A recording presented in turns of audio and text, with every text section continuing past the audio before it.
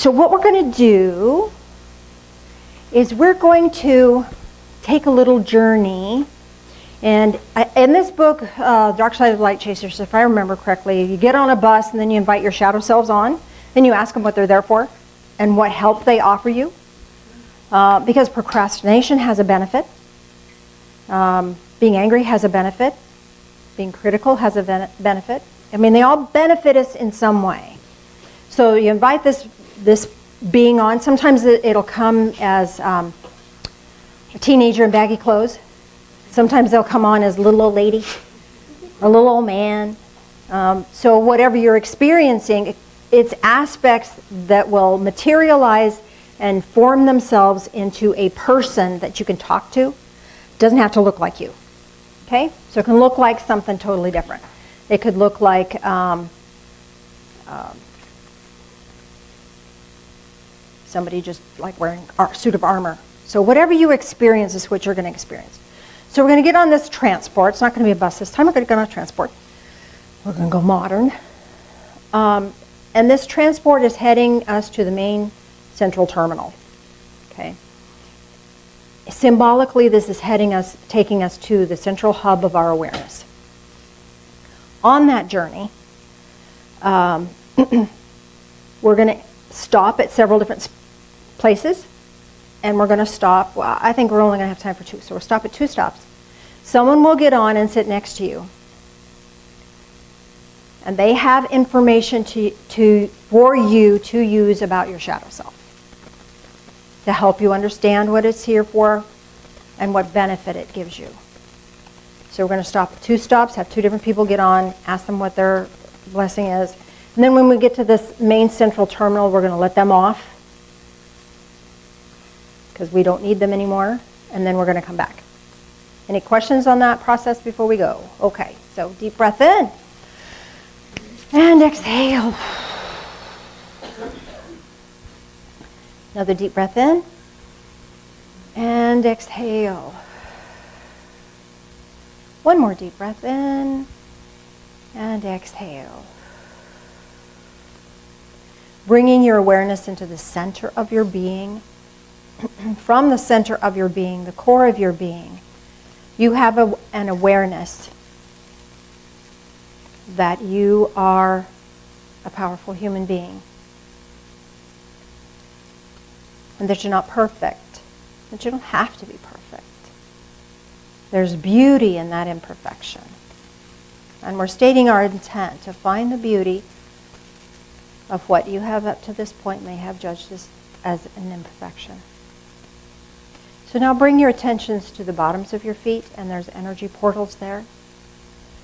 And as you're mindful of them, they'll open, and anything that is no longer of use for you, any pain in your body, any worry or fear, any stress can just drain out the bottoms of your feet.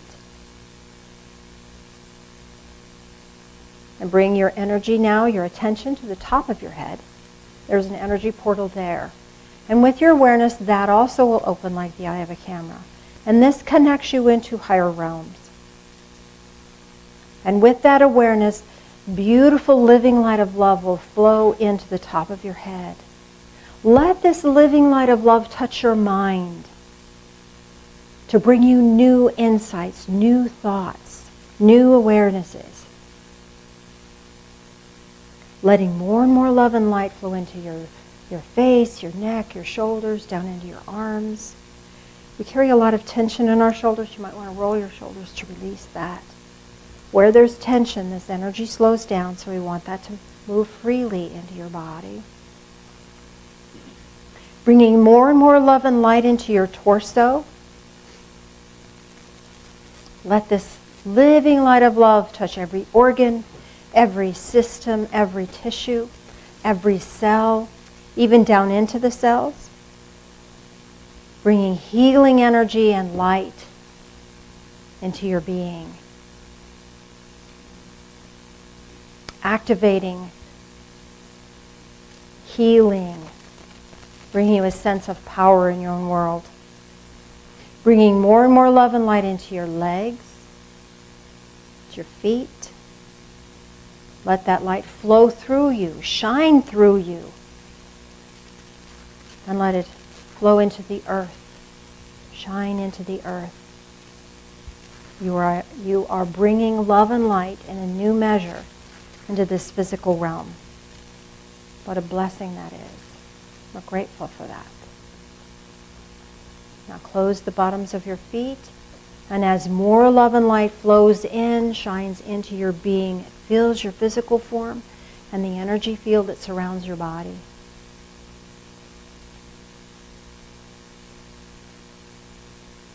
And let's take a little journey. Allow yourself to find your way to a train station or a transport station of some sort. You're going to get on. Doors are open. You're going to walk in, sit down.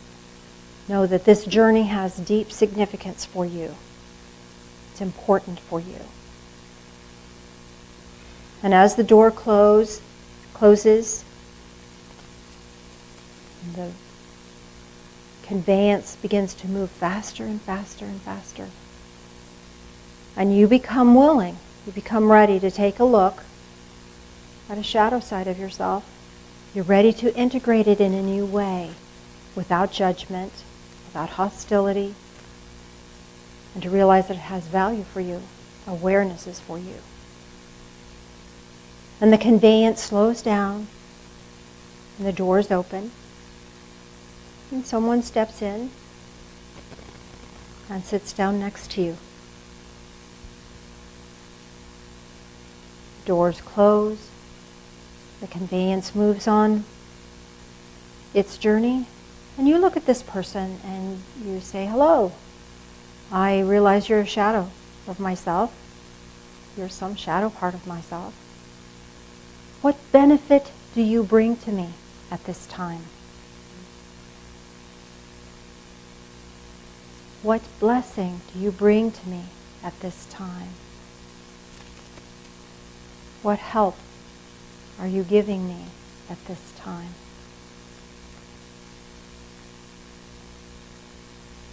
And ask them how to integrate this into a gift that will give you usable energy and empowerment.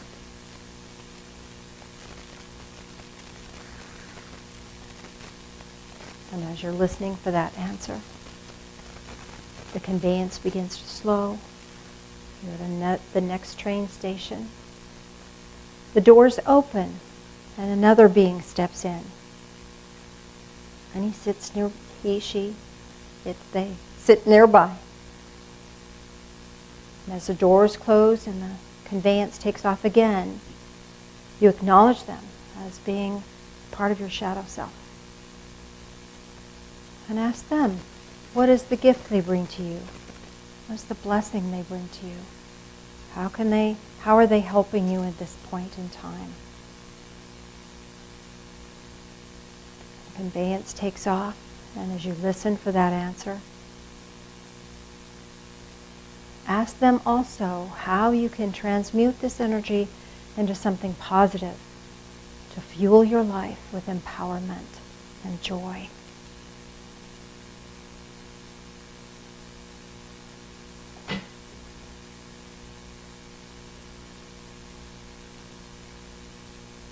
There may be more things that these two beings would want to communicate with you.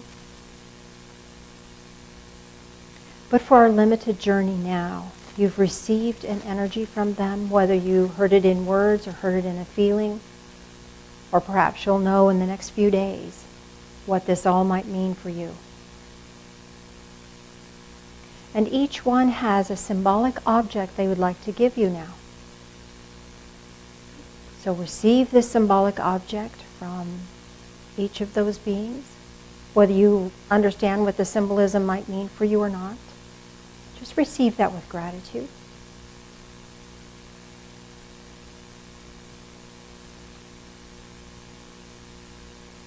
And the train slows as you're headed right into the main central terminal. Comes to a stop, doors open And as these two beings begin to exit, you realize you have a gift for them. Perhaps it's a word or a thought or a feeling or some symbolic object. And you may give this gift at this time to each of them with deep gratitude and joy in your heart. And know that you can release this and find a new positive way to walk your spiritual path with purposefulness and joy. And as the doors close, the conveyance begins to move in the opposite direction. You find yourself feeling stronger than you have before, more empowered than you have before, even if you don't have all the understanding of what all this means for you. You know that you are different now. You're more aware now. You're more empowered now. And you're kinder to yourself now.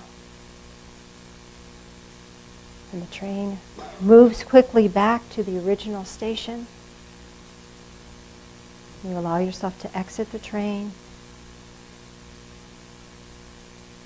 And you find your way back into this room, back into this time and space, into this physical plane.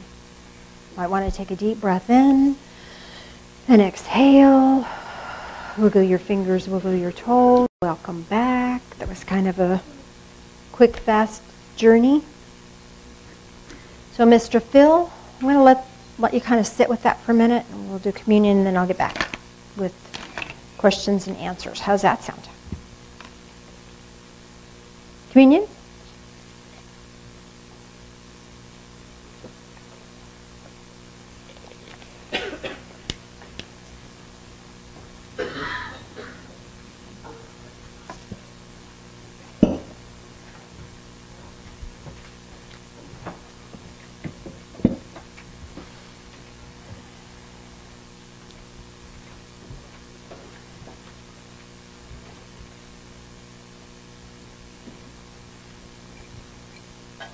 Would you join, join us in prayer, please? Loving Spirit of Light, as we take this in, help us to take in life, all of it. Help us to realize that even those things that we may not like about ourselves have great value and many lessons to teach us. Help us to be more aware and walk with us in all things. These things we pray in the name of Jesus. Amen.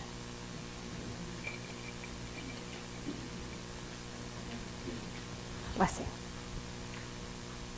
If you're new, we have unleavened bread if you like the tradition of that, uh, rice cakes if you're wheat intolerant, animal crackers if you want to honor a Native American pathway. Whatever works for you, works for us.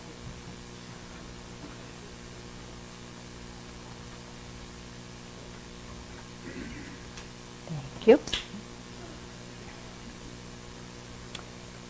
And would you join us in prayer again, please? Loving Spirit of Light, Help us as we drink this in, help us to drink in life. Help us to drink in the joy of living. Help us to feel repurposed and empowered. These things we pray in the name of Jesus.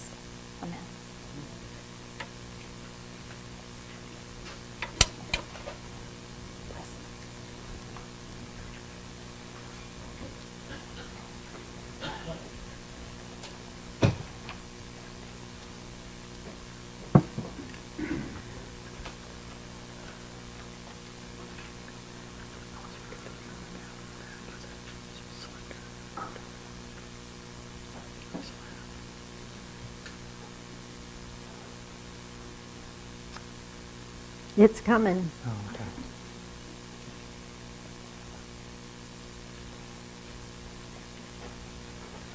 Basket. I'll let you get it.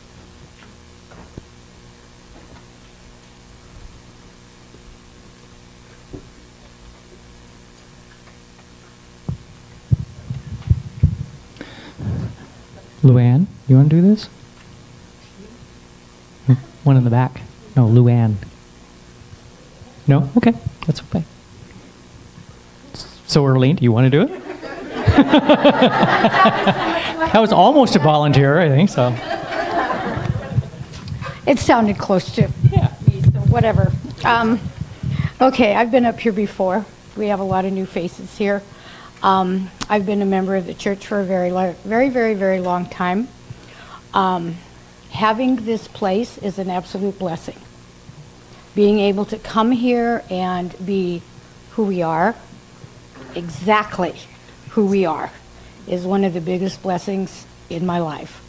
I have learned how to be exactly who I am through the talks that Janice has given, the talks that Christopher has given, and as all things go, the lights need to stay on, the water needs to stay stay running, different things need to be done for the church. If you can give a monetary donation, wonderful. If that doesn't quite fit your budget at this time, please just bless, bless the basket as it goes around. It all works. Thank you. Well done. Thank you, Ridley. Oh. That you get that done. We have quite a few gratitudes. Um, we didn't get to them last week, so they've kind of piled up on us.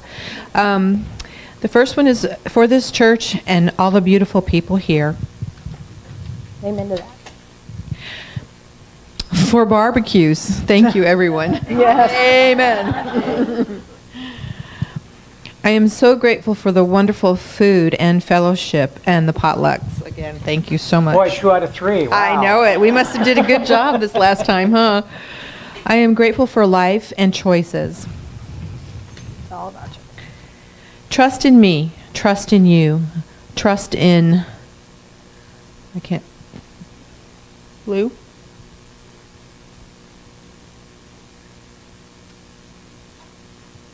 I It- could, you know, L-I-E-U. Does anybody know how to pronounce that? I would, I would think Lou, but I don't know what it Lou? means. Okay, that's what I said. Um, Someone needs to translate that one for us. I- John Doe Joe is what they wrote on there. Okay. Thank you for that. It means something somewhere. For all the blessings in my family, home, business. Amen. Mhm. Family, home, and business is kind of way it's. The, oh, the new baseboards look great. Thank you, Oh. Roy and Carol. We appreciate all you do for our Divine Church home. Amen to that. Have you seen, if you haven't seen them yet, go look in the holler. Just, It's going to be Done. doing more too, so stay tuned. and might need help, so that's good Yeah. too. I am grateful for the supreme love I feel here. Mm. Boy, we get Amen lots of that. gratitudes for that. Thank you so much. Thanks, Val. I probably do need that. Does anybody have any quick questions about their, yeah, okay. First of all, did you meet anybody? Did you make it on the bus, Did get on the transport with you?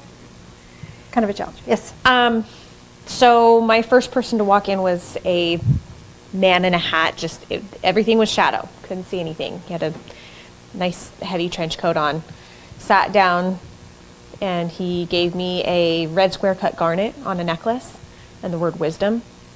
And the next person to come in and sit down was, oh, she was ugly. she was a haggard old woman with a weathered staff, and she had a poisoned apple with a bite taken out of it. And she gave me the word foolish, but it was a choice whether I took the apple or not. And then together they gave me a, it's a gold coin, but it just sat spinning in the air. And then when they left, I gave them just an old brown book. Okay. So when you, when you asked the shadow man what his gift for you, what, what his purpose was, or what you're learning from him, uh, what did he say about that? That's all I got was the word wisdom. That's it. Wisdom. Okay. So what do you think that represented for you, that shadow person? He was definitely the less scary of the two. yeah, I would think. Um, I I feel like he was. So let me ask. Okay, sorry. I I feel like he was reminding me to have the wisdom to identify things that could be foolish or that could be like a trickery of some sort. To identify that. Is there a part of you that hides? Doesn't Oh, heck yeah. Okay. So that's what I'm getting on that. That that that part of you that hides out and, and isn't present in your own life. He's here to tell you that you do that, that there's some wisdom in doing that because not everyone can love you the way you need to be loved. Yeah. So to honor that, that when you feel like I need to be in the shadows here, he's he's saying that there's wisdom in not being your real self all the time. That others might hurt you with their criticism or um, whatever. Does that make sense? Yes. So there's wisdom in that. So honor that. Okay. That's this balance of, of the shadow has a purpose here for you. So what do you think the haggard old woman is trying to tell you?